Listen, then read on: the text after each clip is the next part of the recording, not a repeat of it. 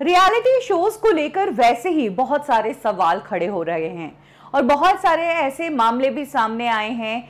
जब ये प्रूव हो गया कि रियलिटी शोज़ में फेक इमोशनल कहानियाँ फेक कंटेंट दिखाकर टीआरपीज बटोरने की कोशिश की जाती है। ऐसे में एक एक्ट्रेस जो पहले सिंगिंग करती थी, वो भी एक रियलिटी शो का हिस्सा बन चुकी थी। उन्होंने इन रियलिटी शोज़ का भांडा फोड़कर रख दिया है और बताया है कि आखिर इन रियलिटी शोज़ की सच्चाई क्या है। मैं आपको बता दें कि स्क्रीन पर जो कुछ दिखाया जाता है रियलिटी शोज़ की सच्चाई उससे बहुत अलग है। ये एक्ट्रेस मिर्जापुर में काम कर चुकी है। इनका नाम है अमिका शैल। अमिका शैल बताती है कि पहले वो सिंगिंग किया करती थी, लेकिन एक टाइम के बाद उन्होंने सिंगिंग करना ही छोड़ दिया। नौ साल की उम्र में उन्होंने बतौर सिंगर के रूप में लिटिल चैम्प्स नाम के शो में हिस्सा लिया था और वहाँ से उनको इन रियलिटी शोज़ की असलियत पता चली।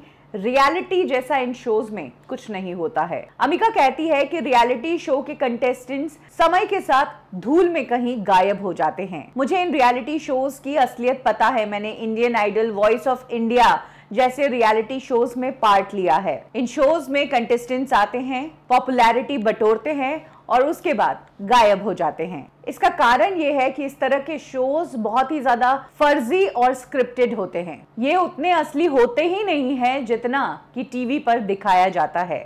सिर्फ़ ड्रामा होता है जिसके बूते हमें व्यूज़ मिलते हैं। अमिका कहती है कि रियलिटी शोज़ में सिर्फ़ कंटेस्टेंट्स की पर्सनल लाइफ दिखाकर सहानुभूति बटोरने की कोशिश की जाती है। शो शुरू करने से पहले ही ये लोग कंटेस्टेंट्स की आर्थिक स्थिति, उसके पारिवारिक मामलों की अच्छे से रिसर्च कर लेते हैं और आपके सिलेक्शन में ये सब चीज़ें बहुत ज़्यादा मायने रखती है। फिर उन बातों को शो में मिलाया जाता है। इन परिस्थितियों को दिखाकर कंटेस्टेंट को ज़्यादा वोट मिलते हैं और फिर उसी को प्रमोट किया जाता है। और सबसे बड़ी बात शो खत्म होने के बाद तो जो जजेस थ्रू आउट शोज़ के इन कंटेस्टेंट्स को प्रमोट करते हैं, उनको भी इन लोगों से कोई लेना देना नहीं होता है। सीज़न खत्म हो जाता है, उसके बाद इन कंटेस्टेंट्स को कोई पूछता तक नहीं। सबसे बड़ी बात जजेस थ्रू आउट शो के दौरान अपने फेवरेट कंटेस्टेंट्स की तारीफ़ करते नज़र आते हैं, उनको प्रेज करते नज़र आते हैं, लेकिन एक बार शो खत्म हो जाता है, उसके बाद उन्हें अपने ही बोले हुए ये शब्द